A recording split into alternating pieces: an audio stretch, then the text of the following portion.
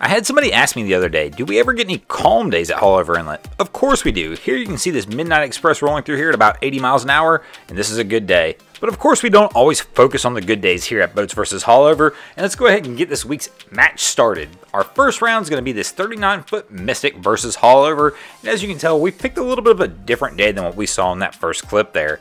This particular vessel is coming in a little slower than it probably should be. A boat with this displacement and this much horsepower in the back should come in a little faster than this, and now they're going to take the pounding for coming in so slow. They didn't have the bow up and wound up diving in through a couple waves here, but fortunate for them, the boat's size and power, they're still going to take the win home in the first round.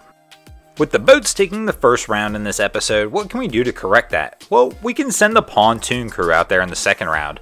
That's right, we've got a single engine pontoon boat coming through Haulover with everybody in the bow of the vessel.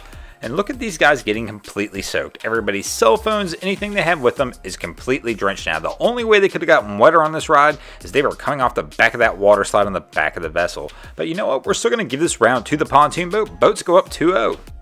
I'm probably to get some hate on this one, as you guys are probably sick of hearing me say save the kids.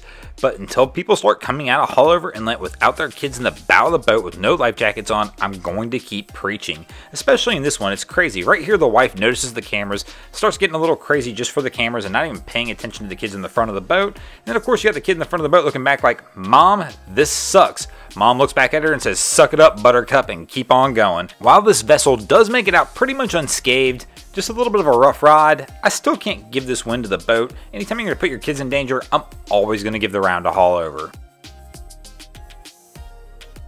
Here in the fourth round, we're going to have a unique situation. It's not often we see Haulover Inlet make a woman's day, but today we're going to see that happen. Here we've got a couple people who've rented some wave runners, and my man in the high vis yellow obviously is their guy going out.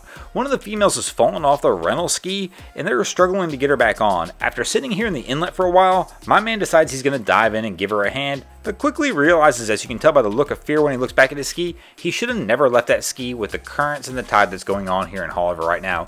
Even the woman who has rented this ski looks at him and says, You're an idiot, go get back on the ski. She does finally get her friend back up on the ski, but there's a little twist here. What's about to happen is they're going to transfer this girl over to the guide ski, but look at the smile that comes on this girl's face when this happens. I believe this was all a ploy assisted by Haulover to get her on that guide ski, so I'm giving this round to Haulover. We come into the fifth and final round tied at two apiece, but you know what? We got a ringer, we've got a rough rider at the end.